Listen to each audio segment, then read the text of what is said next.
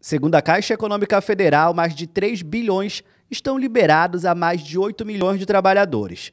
A complementação será feita porque a medida provisória que liberou esse dinheiro foi alterada durante a discussão na Câmara e no Senado. Aumentou o limite na semana passada, que definiu o dia 24 de julho deste ano como referência.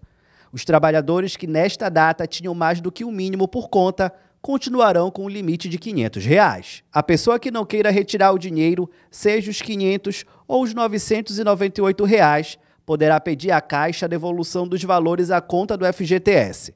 A solicitação precisa ser feita diretamente em uma agência do banco. Os saques deverão ser feitos nos caixas de autoatendimento para quem tem a senha do cidadão. Nas lotéricas, quem tiver a senha cadastrada precisará apresentar um documento de identidade. Sem a senha, o limite de saque por conta é de 100 reais. Com cartão cidadão e senha, é possível fazer a retirada em qualquer correspondência à Caixa.